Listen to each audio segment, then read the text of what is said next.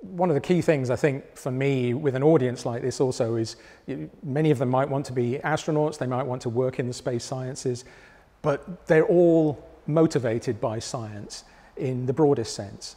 And so what I'd like to see, uh, as I keep coming back to LIYSF year after year, is how that feeds back perhaps sort of in some ways the fantasy curiosity about going to Mars, going to the stars.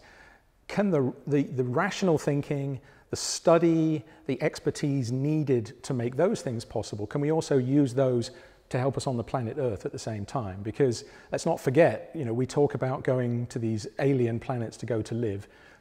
Probably there is no planet B. This is the one we live on, and this is the one which young scientists, I hope, can help us fix, because it's pretty broken at the moment, and go on to a better future where maybe we can actually go to other planets.